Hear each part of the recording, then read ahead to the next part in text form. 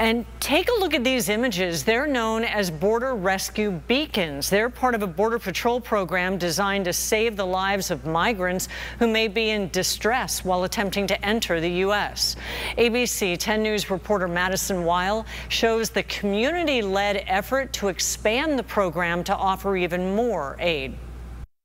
For migrants, the journey to cross the U.S. Mexico border is mountainous and often perilous. Every year in the remote areas of the border region in the desert that's around San Diego, And hundreds of people uh, cross through that desert. Some abandoned by coyotes and left to wander for miles at risk of dehydration, starvation, and injury. It's why CBP started its Missing Migrant program back in 2017 to prevent the loss of life among migrants attempting to enter the U.S. Border Patrol tells us they currently have nine of these rescue beacons throughout the San Diego sector, and there were five rescues because of these beacons in fiscal year 2023.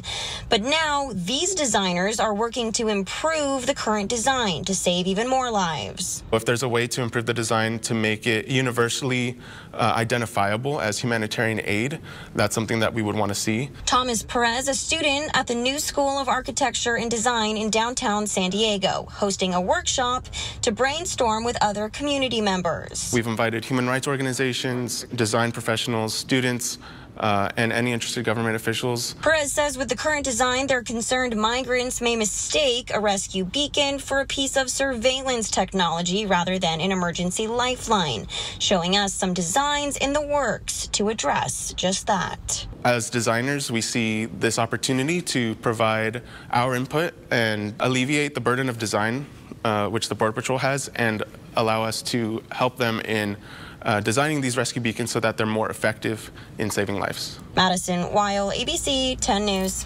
Perez tells us once they finish workshopping their designs, they hope to work with CBP to implement them.